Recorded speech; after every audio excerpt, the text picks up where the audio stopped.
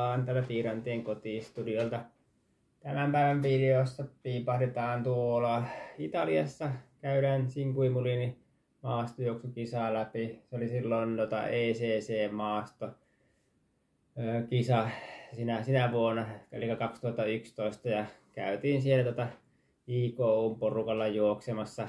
Tässä on vähän eri kaverit tai urheilijat taustalla, mutta voidaan ajatella vaikka siinä niin Leskisen Antti, Haataisen Jouni, e, Niemisen Jaakko ja Puttosen Juha.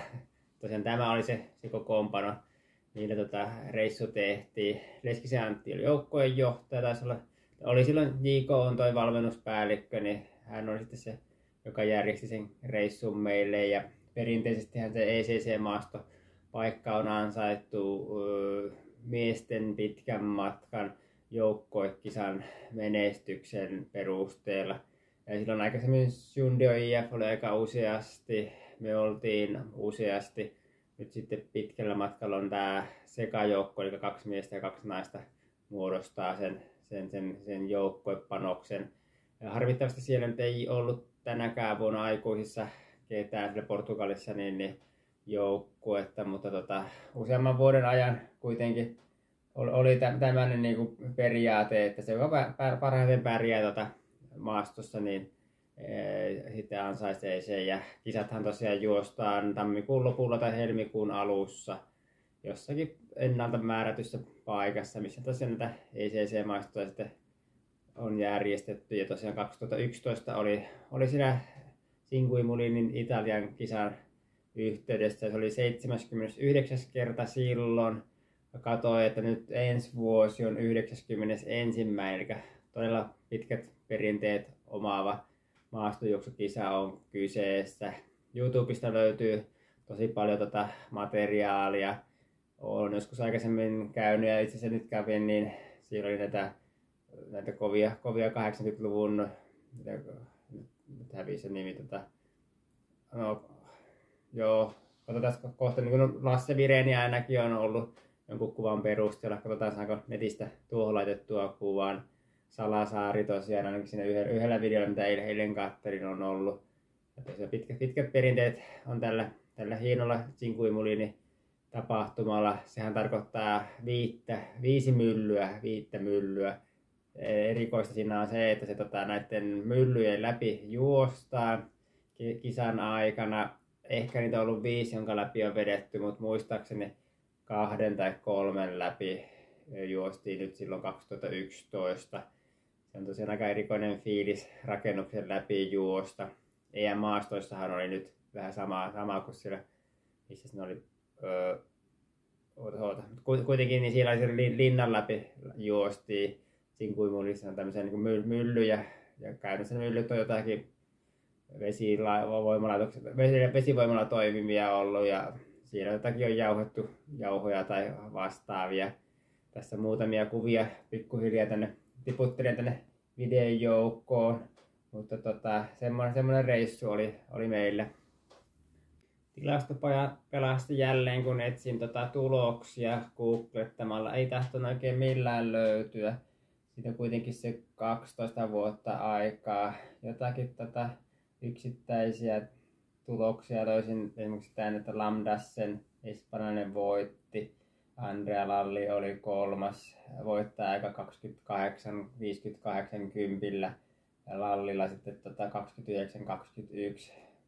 Ei tahtonut tuloksia löytyä enempää, mutta sitten tosiaan tilastopaja on kirjautunut ja maksanut sen, sen, sen niin pääsen katsomaan tuloksia enemmän, niin täältä löytyy sitten kaikki tulokset. Selvisi, että tota, IK oli, oli siellä 16, kun oli 21 joukkuetta yhteensä. Sijapisteitä oli 270. Vanhalla vitsa, tuota Andorran pojilla ei hävitä, niin ei varmaan tossakaan sitten hävitty. Parhaas, paras suomalainen oli tosiaan tuo Puttosen Juha, siellä 54, juoksi 32.05.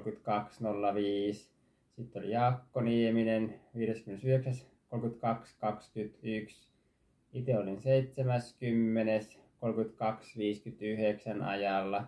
ja neljäs oli tosiaan Jouni Haatainen 34.04 ajalla.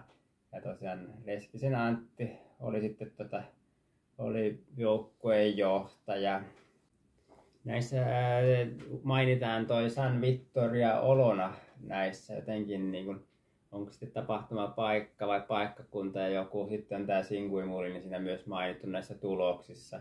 Tosiaan 79. oli sillä kertaa ja naisilla 41.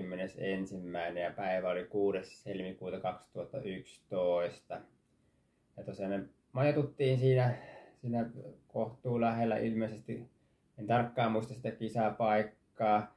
Öö, siinä oli edellinen päivä, semmoinen vähän niin kuin luppo, luppopäivä, niin tota, lähdettiin käymään sitten poikien kanssa Milanossa. Mentiin bussilla sinne, hengailtiin, käytiin kahvilla, ihailtiin maisemia, vanhoja rakennuksia, joku vanha kauppakeskus löytyi, joka vissi joku Milanon muotipäivien joku hieno kohde, vanha kirkko ilmeisesti kans kuuluisa, tarkkaan nimeään sillekään tässä niin selvitellyt, mutta tota, poserailtiin, otettiin kuvia ja ehkä jotakin pieniä ostoksiakin tehtiin, mutta oli niin kuin, tosiaan päivää ennen sitä varsinaista juoksua. Ja sitten varsinaisesti juoksupäivänä niin tota, oli hyvin, hyvin valmistauduttu. Se hotelli oli ihan, ihan siisti ja hyvä. Muistelin semmoisen, että se ruoka oli aina vähän niin kuin loppu, kun kaikki urheilijat ryysäs sinne syömään kerralla ja sitten hienosti jotenkin, että tarjoiltiin semmoista tarjolle tarjosi sitä ruokaa, niin kauan kesti, että sai, sai kunnon ruoan ja tosiaan ihan, ihan hieno hotelli oli. En ihan varmaan, katsotaan jossakin vaiheessa, että selviääkö, että miss, missä tämä kisapaikka oli. Ei ollut silloin vielä GPS-kelloa mulla. Oli tämä Polarin, onko se RC, joku 800, niin siinähän sitä kepsiä ei ollut. Ja Polarin palvelussa mikä se on se Pro Trainer, niin eipä niitä oikein nykyään sitä taho saada edes auki niitä, niitä reenejä. Katsot Jouni Haataisilla oli toi suunnon kello ja pyysin siltä tota GPS tätä tiedostoa. Katsotaan, oliko se kepsi siinä kellossa ja saanko sen, niin pystyy sitten vähän sen avulla selvittelemään, että missä päin tämä kisapaikka oli ja näin, mutta sen, sen muistan, että siinä oli semmoista niin tasasta, tasasta oli ja pieniä töppäreitä ja tosiaan sitten näiden, näiden myllyjen läpi juostiin ja siinä oli semmoinen vihreä matto vedettynä siihen pohjalle, että ei niinku liikastumisvaaraa tai muuta ollut. piikkarilla juoksi ja tota, ihan tota, toimiva, toimiva, toimiva ratkaisu oli.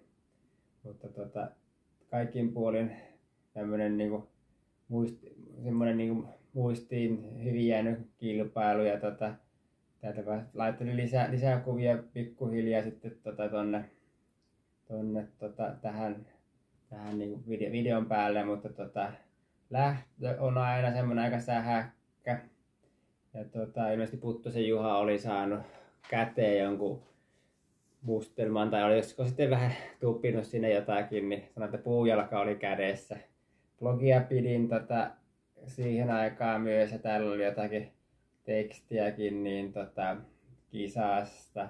Oli nämä kisatulokset ja tota, te, tuota, viiden myllyn läpi juostiin ja tota, sitten aika pian sen tämän kisan jälkeen mä lähdin sitten sinne Armakkiin juokse sitä viiden kilometrin kisaa, josta aikaisemminkin tein, tein tosiaan videon tähän. Eli samana, samana vuonna oli nämä tota, kumpikin, kumpikin tapahtuma, mutta tota, ihan hyvillä fiiliksillä. Kaik, kaikki oli liikkeellä ja IKlla tosiaan tämä vanha, vanha seurapaita kuvasta taitaa näkyä ja suuren kilpailun tuntua kansainvälinen tapahtuma ja tota, sinne vai mukaan, jos pääsette tai pyöritte Italian lehdillä tai, tai jossakin, niin pistäkää singui mulini mieleen ja käykää siellä juoksemassa tämmönen tota, muistelu tota, tästä, tästä yhdestä meidän ECC-maastokilpailusta ja tota,